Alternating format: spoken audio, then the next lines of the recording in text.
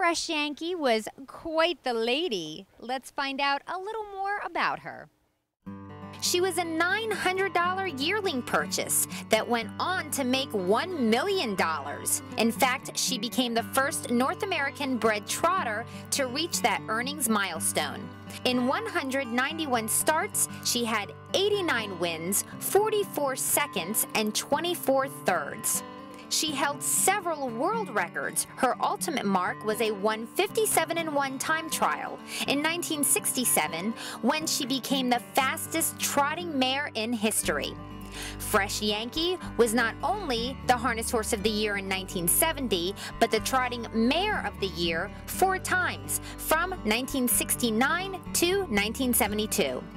The Standardbred star's greatness was defined by her performances in the Roosevelt International Trot, which brought together the best trotters in the world.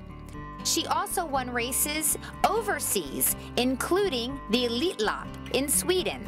Her career came to an end in 1972.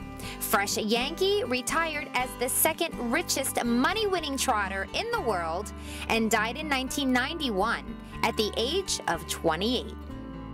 Now let's check out a blast from the past. It's the Roosevelt International Trot. And the New York Times described this race, and I quote, there are many harness racing stakes that are older, and quite a few that are richer, but there is none that, for glory, pageantry, excitement, and wild wagering, matches the Roosevelt International Trot. It's a mile and a quarter event. Now we'll check out the post parade first and then the 1970 edition of the stake.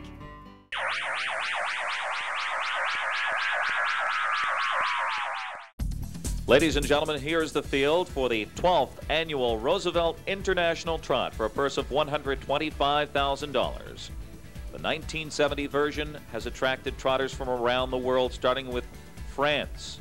Here's number one, the seven year old French champion Tidalium Pelo with driver Jean Mary. Number two is the Canadian Rags to Riches story Fresh Yankee with Joe O'Brien. Fresh Yankee, a seven year old by Hickory Pride, second, third, and third in her three previous appearances. Purchased for $900 by Duncan McDonald of Sydney, Nova Scotia. She's got over a half million dollars on her card.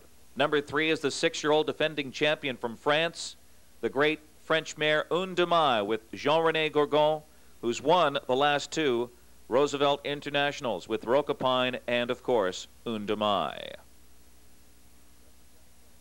Representing the country of Italy tonight, number four, Barbablu with Giancarlo Baldi. Number five, the Swedish representative from Sweden, Lion, the favorite here tonight, who won his country's Triple Crown, the driver Ollie Elfstrand one of two representatives for the United States. Number six, Diane with William Meyer. Number seven is the nine year old New Zealand champion, Stylish Major, a winner of 23 of 80 lifetime starts, the driver Billy Hudson. And drawing the outside post eight, representing the United States, Nakalula with Saunders Russell. The gate swings into the backstretch for the 1970 12th annual Roosevelt International Trot for $125,000. Trotters from around the world are set to go. And they're off and trotting. Tidalium Pelo from the inside with Jean Mary takes the early lead. Mai to challenge on the outside. And the two French trotters lock up early. Fresh Yankee is trotting third with Barbablu from Italy getting away fourth. Lion is fifth from Sweden. USA representative Diane is sixth, followed by the New Zealand rep Stylish Major, and then it's Nakalulu from the USA at the back of the pack. And they come by us for the first time towards the opening quarter. And the French trotters go at it here. Tidalium Pelo has rail control. Un is parked on the outside. We'll try to go the overland route with Fresh Yankee third. And the opening quarter was 31 and 4.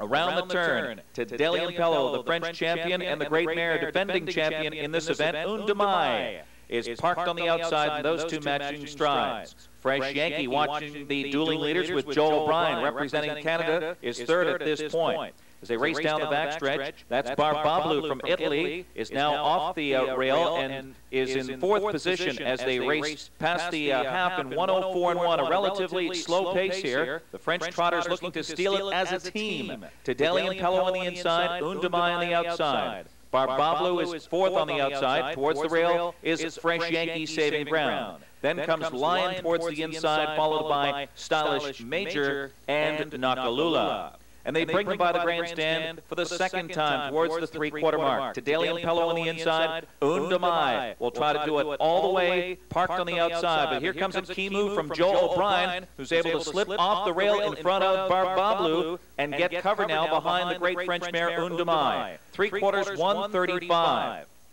They continue around the turn, and the two French trotters again matching strides here. Tidalium Pelo on the inside, Une de Mai on the outside, and now Fresh Yankee with Joe O'Brien in good stalking position, third on the outside. Barbablu gaining ground steadily. That's Lion saving ground towards the rail. And now, with the USA, the representative with William Meyer, Diane makes a three-wide brush past the mile marker in 205.